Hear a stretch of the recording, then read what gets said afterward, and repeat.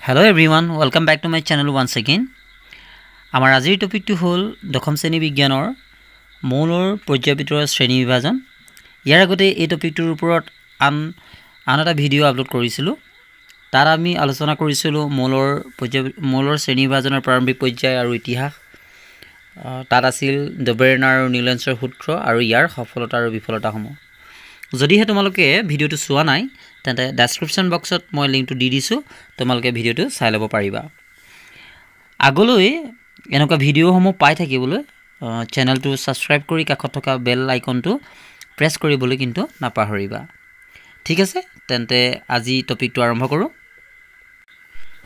ডবেৰেনাৰ আৰু নিলেন্সৰ বিফলতাৰ পাছত পাৰমাণৱিক ওপৰত ভিত্তি কৰি মৌলবিলাকক শ্ৰেণী বিভাজন কৰাৰ এক নতুন আৰু সফল পদ্ধতি উদ্ভাৱন কৰা বিজ্ঞানীজন হ'ল ৰুছ ৰসায়ন বিজ্ঞানী ডিমিত্ৰী মেণ্ডেলিভ তেওঁৰ পদ্ধতিটোত মৌলবিলাকক শ্ৰেণী বিভাজন কৰোঁতে মৌলবিলাকৰ পাৰমাণিক ভৰৰ লগত সিহঁতৰ ভৌতিক আৰু ৰাসায়নিক ধৰ্মৰ সম্পৰ্কক পৰীক্ষা কৰি তালিকাভুক্ত কৰিছিল।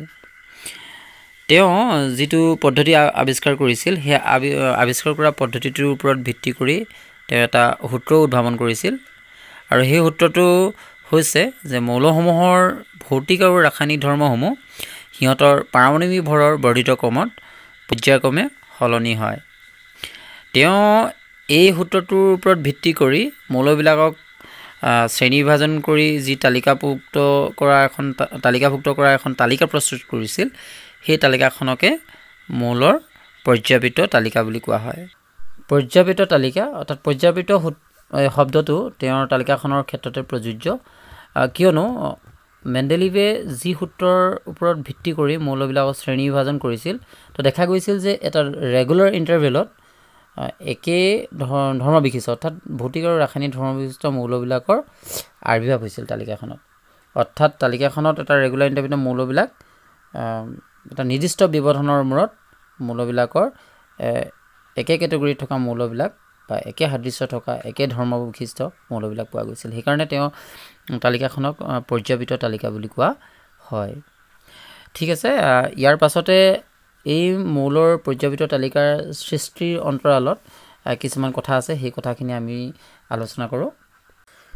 মেণ্ডেলিভৰ সময়ত মাত্ৰ তেষষ্ঠিটা মৌলৰ বিষয়েহে জনা গৈছিল। আৰু সেই তেষষ্ঠিটা মৌলৰ পাৰমাণৱিক ভৰ আৰু সিহঁতৰ ৰাসায়নিক ধৰ্মৰ লগত সম্পৰ্ক ৰাখি সেই মৌলবিলাকে কেনেধৰণে অক্সিজেন আৰু হাইড্ৰজেনৰ লগত ৰাসায়নিক বিক্ৰিয়া কৰিছিল তো সেই কথাটো পৰ্যবেক্ষণ কৰিছিল। গতিকে কোৱা হৈছে যে হাইড্ৰজেন আৰু অক্সিজেন যথেষ্ট সক্ৰিয় হয় আৰু সেইকাৰণে সিহঁতে বেলেগ মৌলৰ লগত কেনেধৰণে যৌগ গঠন কৰে সেই কথাটো প্ৰথমে মেণ্ডেলিভে গুৰুত্ব দিছিল।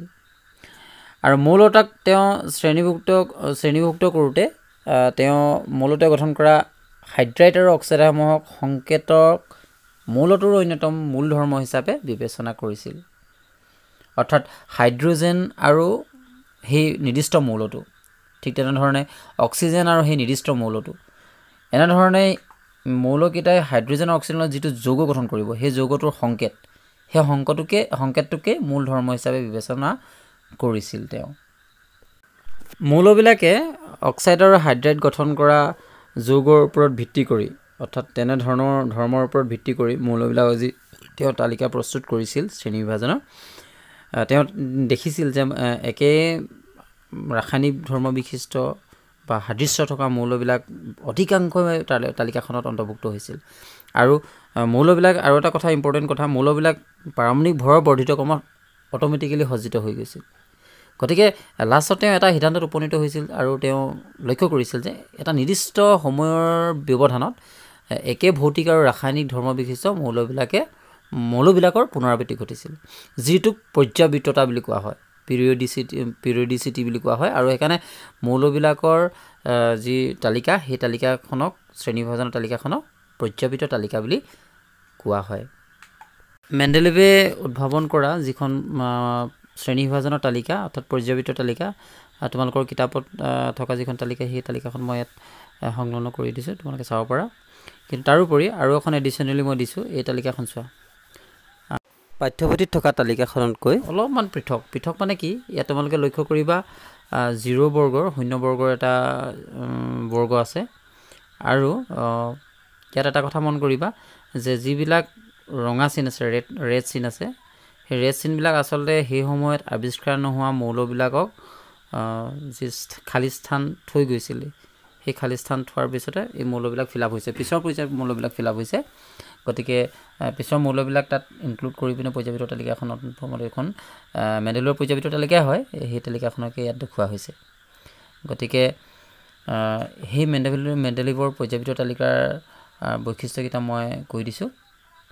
মেণ্ডেলিভৰ পৰ্যাপিত তালিকাৰ পথালি শাৰীবিলাক যে দেখিছা এই শাৰীবিলাকক পৰ্যায় বা পিৰিয়ড বুলি কোৱা হয় ইহঁতক ৰোমান সংখ্যা একৰ পৰা সাতলৈ চিহ্নিত কৰা হৈছে।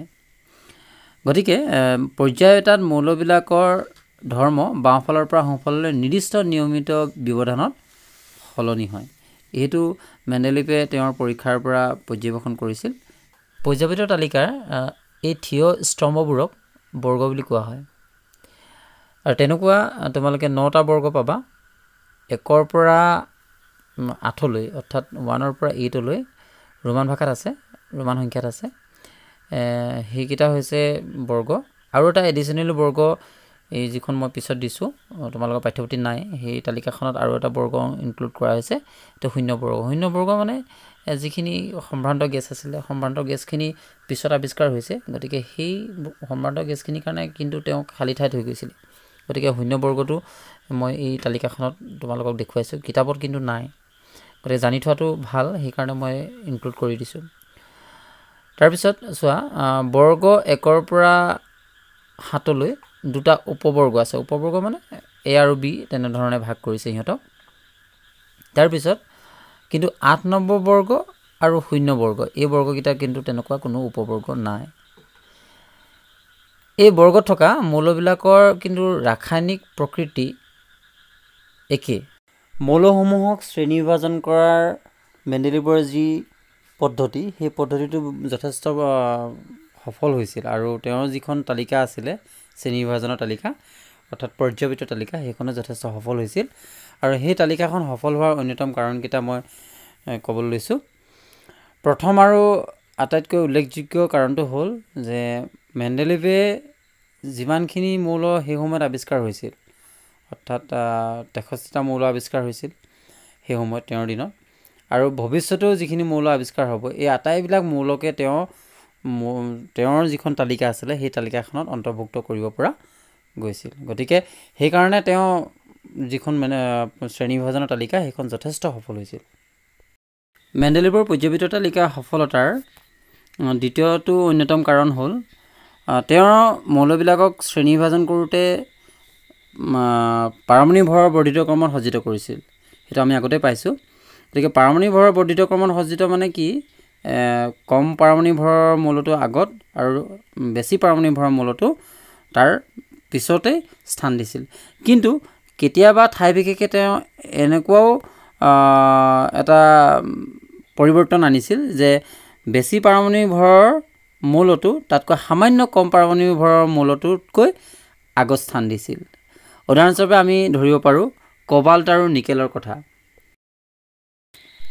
ইয়াত নিকেলৰ পাৰমাণিক ভৰ fifty eight point six nine three মানে ফিফটি এইট পইণ্ট ছেভেন বুলি ধৰিব পাৰি। কবাল্টৰ পাৰমাণিক ভৰ ফিফটি এইট পইণ্ট নাইন গতিকে নিকেলক কবালতকৈ আগত স্থান দিব লাগিছিল। কিন্তু মেণ্ডেলিভে কিছু কিছু ঠাইত যেনেকৈ পৰিৱৰ্তন আনিছিল তাৰ উদাহৰণস্বৰূপে নিকেলক কবালতকৈ আগত স্থান দিছিল। যদিও সামান্য পাৰমাণিক ভৰা সামান্য ইয়াৰ পাৰ্থক্য আছে তথাপি আগত স্থান দিছিল। যদিও কোবাল্ট নিয়মমতে নিকেলৰ পাছত হ'ব লাগিছিল। আৰু এইটো কৰিছিল তেওঁ একে ধৰ্মবিশিষ্ট মৌলবিলাকক একেটা বৰ্গত ৰাখিবৰ বাবে। এইটো মেণ্ডেলিভৰ পৰ্যাপিত তালিকাৰ সফলতাৰ অন্যতম দ্বিতীয়টো কাৰণ। মেণ্ডেলিভৰ পৰ্যাপিত তালিকাৰ সফলতাৰ তৃতীয়টো অন্যতম কাৰণ হৈছে নতুন মৌলৰ পূৰ্বানুমান। মেণ্ডেলিভে তেওঁৰ পৰ্যাপিত তালিকাত সেই সময়ত অনাৱিষ্কৃত মৌলবিলাকৰ সম্বন্ধে তেওঁ কিছুমান ভৱিষ্যতবাণী আৰু পূৰ্বানুমান কৰি থৈ গৈছিল আৰু সেই মৌলবিলাকৰ বাবে তেওঁ বিশেষ স্থানো থৈ গৈছিল পৰ্যাপিত তালিকাত। গতিকে এটা উদাহৰণ দিব পাৰোঁ। যেনেধৰণে তেওঁ এটা মৌল একা এলুমিনিয়াম নাম দি তেওঁ সেই মৌলটোৰ ধৰ্মবোৰৰ সম্পৰ্কে তেওঁ এটা পূৰ্বানুমান কৰিছিল ভৱিষ্যতবাণীও কৰিছিল আৰু এটা নিৰ্দিষ্ট স্থানো দি থৈ গৈছিল। সেই মৌলটো চাৰি বছৰৰ পিছত যেতিয়া আৱিষ্কাৰ হ'ল দেখা গ'ল যে মৌলটোৰ ধৰ্ম গেলিয়ামৰ সৈতে একেই।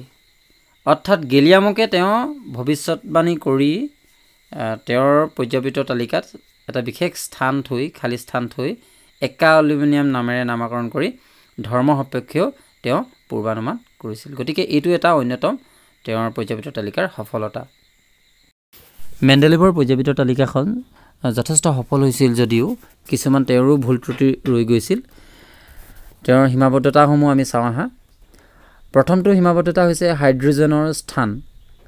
হাইড্ৰজেনৰ ইলেক্ট্ৰনিক বিন্যাস সাৰ ধাতুৰ লগত মিলাৰ লগতে ই হেল'জেনৰ লগত দ্বীপ পাৰমাণৱিক অণু হিচাপে থাকে। গতিকে মেণ্ডেলিভে তেওঁৰ তালিকাত হাইড্ৰজেনক স্থান দিবলৈ তেওঁ খাৰ ধাতুৰ লগতে হাইড্ৰজেনক ৰাখিব নে হেল'জেনৰ লগতে ৰাখিব সেইটোক লৈ তেওঁ সন্দিহান হৈছিল। সেইকাৰণে তেওঁ হাইড্ৰজেনৰ স্থানক লৈ এটা ডাঙৰ সমস্যাৰ সন্মুখীন হৈছিল আৰু হাইড্ৰজেনক কোনো এটা নিৰ্দিষ্ট স্থান দিব পৰা নগৈছিল। তেওঁৰ আন এটা সীমাবদ্ধতা হৈছে সমস্থানিকৰ স্থান।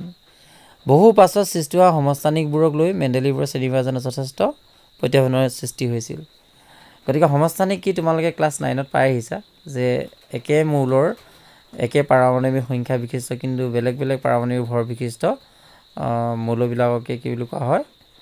যিটো মৌলৰ ৰূপ সেই ৰূপবিলাককে কি বুলি কোৱা হয়? সমস্থানিক বুলি কোৱা হয়? মই ইয়াত কাৰ্বনৰ সমস্থানিককেইটা তোমালোকক উদাহৰণ হিচাপে দি দিছোঁ আকৌ এবাৰ মনত পেলাই দিছোঁ। যি কি নহওক যে মৌলবিলাকৰ যি সেই সমস্থানিকবিলাক বহু পাছত সৃষ্টি হোৱাৰ ফলত মেণ্ডেলিভৰ পৰ্যাপিত তালিকাই এটা ডাঙৰ প্ৰত্যাহ্বানৰ সন্মুখীন হৈছিল। সমস্থানিকবিলাকৰ ক্ষেত্ৰত দেখা যায় যে একে মৌলৰ বেলেগ বেলেগ সমস্থানিকবোৰৰ পাৰমাণিক ভৰ ভিন্ন। গতিকে সেই অনুসৰি সিহঁতক প্ৰত্যেককে পৰ্যাপিত তালিকাত পৃথক পৃথক স্থান দিব লাগে। আনহাতে সকলো সমস্থানিকৰ ৰাসায়নিক প্ৰকৃতি একে। গতিকে সেই অনুসৰি আকৌ সিহঁতক একেটা স্থানতে অন্তৰ্ভুক্ত কৰিব লাগে। গতিকে মেণ্ডেলিভে এই সমস্থানিকবিলাকক লৈ এটা সমস্যাৰ সৃষ্টি হৈছিল আৰু বহু পাছত সৃষ্টি আৱিষ্কাৰ হোৱাৰ কাৰণে সমস্থানিকবিলাকৰ ক্ষেত্ৰত মেণ্ডেলিভৰ পৰ্যাপিত তালিকাত এটা ডাঙৰ প্ৰত্যাহ্বান থাকি গৈছিল। মেণ্ডেলিভৰ পৰ্যাপিত তালিকাৰ আন এটা সীমাবদ্ধতা হৈছে মৌলবিলাকৰ পাৰমাণৱিক ভৰৰ বৃদ্ধি। মৌলবিলাকৰ পাৰমাণৱিক ভৰৰ বৃদ্ধিটো সুষমভাৱে ঘটা নাছিল। গতিকে দুটা মৌলৰ মাজত কিমানটা ভৱিষ্যতে নতুন মৌলৰ আৱিষ্কাৰ হ'ব সেই সম্বন্ধে পূৰ্বানুমান কৰাটো অসম্ভৱ হৈছিল।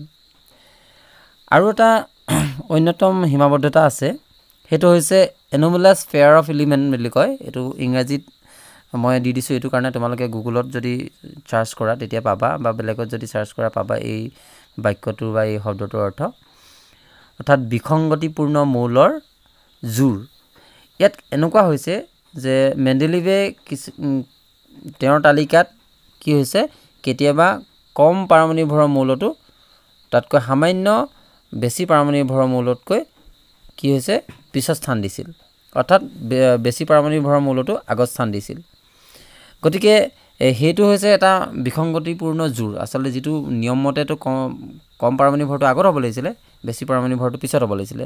গতিকে সেইটো তোমালোকে ওপৰ পৰ্যায়ত যদি চোৱা পিৰিয়ডিক টেবুলৰ বা ৰাসায়ন বিজ্ঞানৰ এই পাঠটিত এই এনিমেলাছ ফেয়াৰ অফ এলিমেণ্ট এই বস্তুটো পাবা। মই সেইকাৰণে ইংৰাজী টাৰ্মটো ইয়াত উল্লেখ কৰি দিছোঁ। উদাহৰণস্বৰূপে তোমালোকে যদি চোৱা আৰ্গন আৰু পটেছিয়ামৰ কথা ধৰিব পাৰি। সিহঁতৰ পাৰমাণিক ভৰটোৰ দুয়োটাৰ মাজত সামান্য ডিফাৰেঞ্চ আছে। কিন্তু কি হয় ইহঁতৰ যিটো স্থানটো সেই স্থানটো যিটো পাৰমাণিক ভৰ অলপ কম সেইটো পিছত স্থান দিছে আৰু যাৰ সামান্য বেছি তাক আগত স্থান দিয়া হৈছে। আজিৰ ভিডিঅ'টি ইয়াতে সামৰিব বিচাৰিছোঁ। আমি নেক্সট ভিডিঅ'টোত এই পাঠটিৰ লগত মূলৰ পৰ্যাবৃত্ত শ্ৰেণী বিভাজন পাঠটিৰ লগত জড়িত বিষয়সমূহ আলোচনা কৰিম। আৰু তোমালোকৰ যদি কিবা বিষয়ত যদি বিশেষকৈ বিজ্ঞানৰ বিষয়ত যদি কিবা কনফিউজন আছে ক্লাছ টেনৰ বিজ্ঞানৰ বিষয়ত যদি কিবা কনফিউজন আছে তোমালোকে টপিকটিও কমেণ্ট বক্সত জনাবা উল্লেখ কৰিবা। মই সেই বিষয়টোৰ ওপৰত তোমালোকক তোমালোকৰ সুবিধাৰ্থে ভিডিঅ' আগবঢ়াবলৈ প্ৰয়াস কৰিম। যিসকল ছাত্ৰ ছাত্ৰীয়ে ভিডিঅ'টো চাই আছে সকলোলৈ ধন্যবাদ জ্ঞাপন কৰিছোঁ। ইয়াতে এৰিছোঁ। শুভৰাত্ৰি।